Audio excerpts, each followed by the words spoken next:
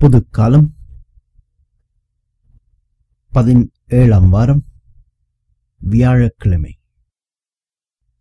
முதல் வாசகம்.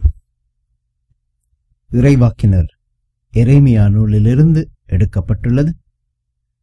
அதிகாரம் பதினெட்டு வசனங்கள் ஒன்று தொடக்கம் ஆறு வரை. எரேமியாவுக்கு ஆண்டவர் அருளிய வாக்கு நீ எழுந்து குயவன் வீட்டுக்குப் போ. அங்கு என் சொற்களை நீ கேட்கச் செய்வேன். எனவே நான் குயவர் வீட்டுக்குப் போனேன். அவர் அங்கு சுழல் வட்டை கொண்டு வேலை செய்து கொண்டிருந்தார். குயவர் தம் கையால் செய்த மண் கலம் சரியாக அமையாத போதெல்லாம் அவர் அதை தம் விருப்பப்படி வேறொரு கலமாக வடித்துக் கொண்டிருந்தார். அப்போது ஆண்டவர் எனக்கு அருளிய வாக்கு. இஸ்ராயல் வீட்டாரே இந்த குயவன் செய்வது போல் நானும் உனக்கு செய்ய முடியாதா? என்கிறார் ஆண்டவர்.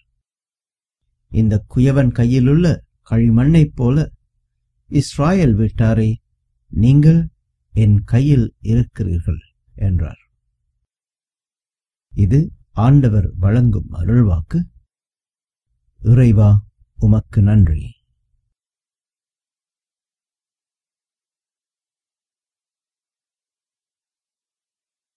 நற்செய்தி வாசகம். மத்தேயு எழுதிய நற்செய்தியிலிருந்து எடுக்கப்பட்டுள்ளது. அதிகாரம் பதிமூன்று வசனங்கள் நாற்பத்தி ஏழு தொடக்கம் ஐம்பத்தி மூன்று வரை. அக்காலத்தில் இயேசு மக்களை நோக்கி கூறியது வெண்ணரசு.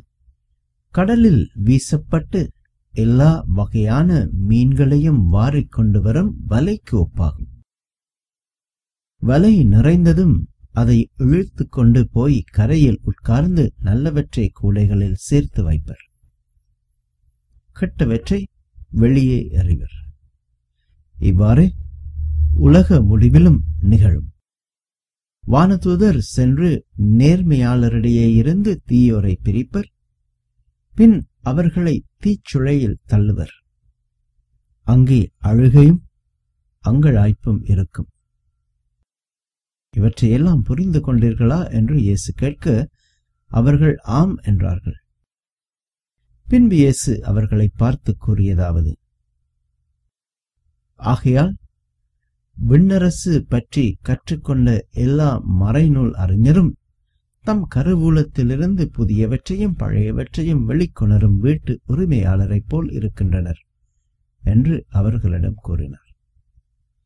இவ்வுவமைகளை இயேசு சொல்லி முடித்த பின்பு அவ்விடத்தை விட்டு சென்றார்.